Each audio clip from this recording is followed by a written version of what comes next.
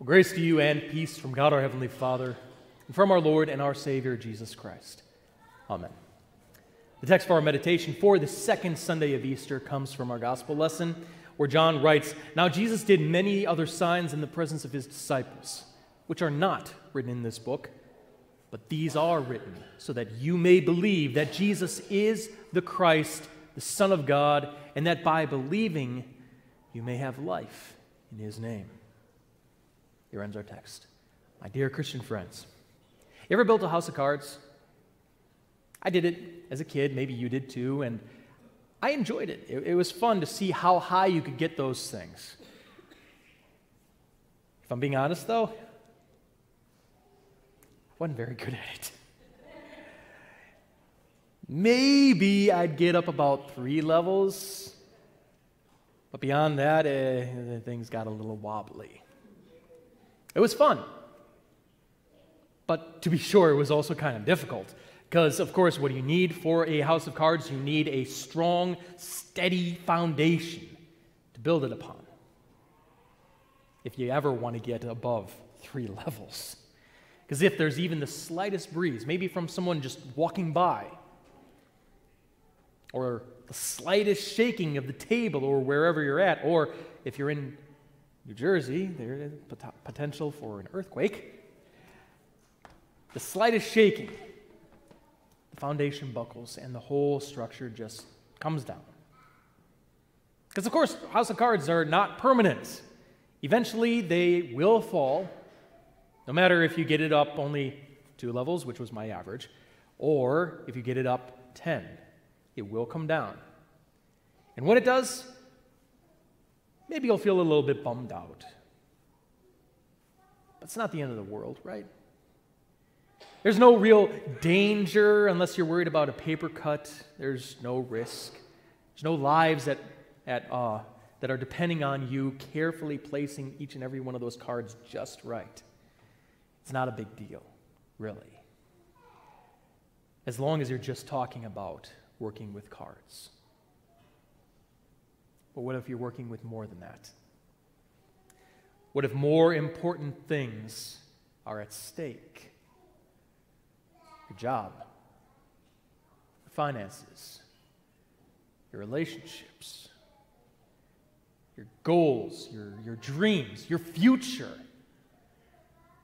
Would you be willing, willing to risk it? You might be as long as you were sure that the foundation, whatever it is that you're trying to build, is solid.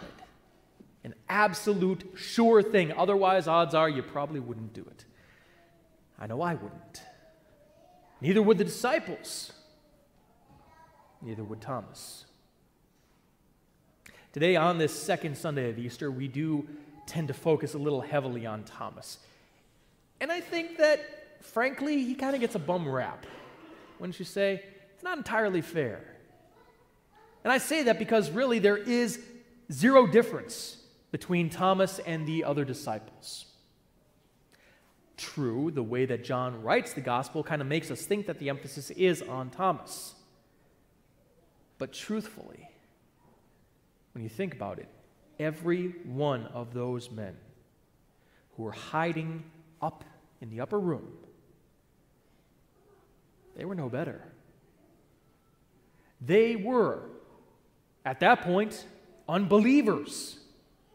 Not doubters with questions needing verification. They just straight up didn't believe.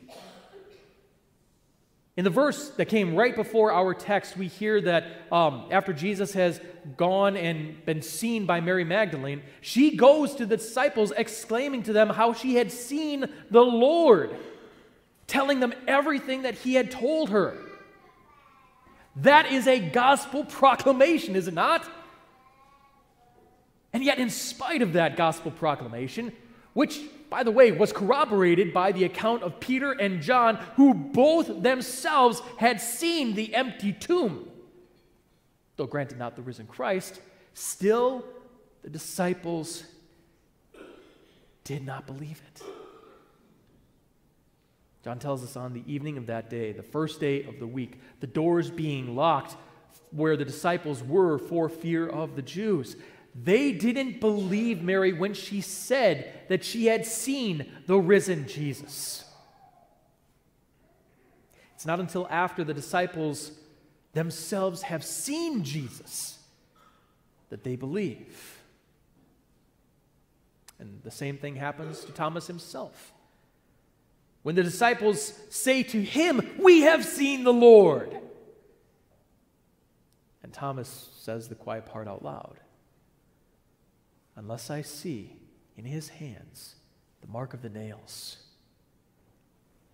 and place my finger into the mark of the nails, and place my hand into his side, I will never believe. In other words, unless I see things for myself, I will not build my foundation, my faith, my future on this extraordinary claim. It was a risk, my friends. Make no mistake about it. There was a reason why they were hiding. Enemies had killed their Lord and Master. And they certainly would have come after the disciples as well if they were given the chance. And it wasn't like this was just a flippant, one time thing. These disciples had left their homes, their families, their livelihoods, all to follow this Jesus of Nazareth. And their hopes had been crushed when they saw him die. It all came crashing down on that Thursday and Friday like a house of cards.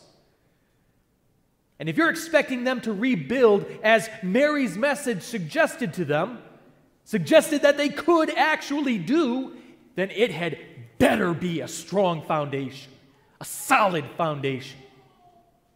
A foundation so strong that it could replace their unbelief. It needed to be firm, firm enough to overcome that kind of fear. It had to be a foundation that they could touch, they could see, they could grasp. It had to be as firm as hands with nail marks in them, a side pierced by a spear, and feet with scars through them. That's what they wanted. That's what Jesus delivered. So, the question for our broken, bleeding, dying world is this Can we build upon that foundation? Did Jesus of Nazareth actually do these miraculous signs or not? Did he really turn water into wine at Cana?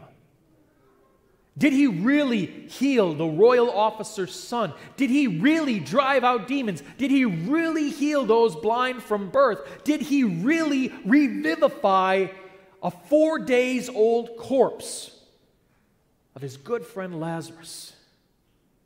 Did he or did he not die to snatch away our guilt and sin, to liberate us and give us life with him now and forevermore. Did he or did he not die and then rise again the following Sunday morning, rising to eternal life, so that we can all know that one day all sickness, all fear, all sin, all death will be undone.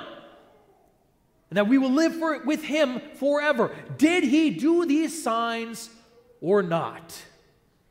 Can we build on that foundation? The world continues to ask that question, just as the disciples did. But you'll notice that Jesus did not begrudge them that question. He gave them the foundation that they were wanting, the foundation that they needed. Should they have believed Mary's report and acted accordingly? Sure, of course. She had seen the foundation. Should Thomas have believed the numerous reports given by his brother disciples corroborating Mary's story? Again, of course they should have. They, he should have because they had seen the foundation.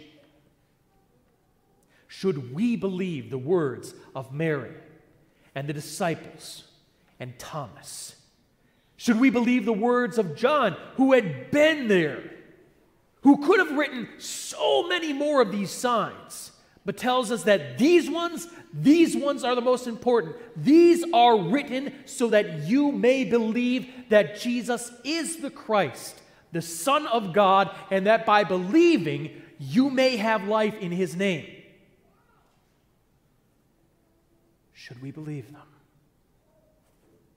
There's a lot at stake. There's a lot of risk here.